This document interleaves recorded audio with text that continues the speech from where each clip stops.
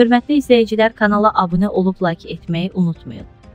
Cəfər Cabbarlı adına İrəvan Dövlət Azərbaycan Dram Teatrının baş rejissoru, əməkdar artist Sarvar Aliyevin ürəyində ciddi narahatlıq yaranıb. Oxu24.com ölkə aza istinadən xəbər verir ki, bu səbəbdən əməkdar artist Avrasiya Hospitalın kardiologiya şöbəsinə yerləşdirilib və təcili müayinəsinə başlanılıb. Qeyd edək ki, Sərvər Əliyev 2016-cı ildə də ürək əməliyyatı keçirib.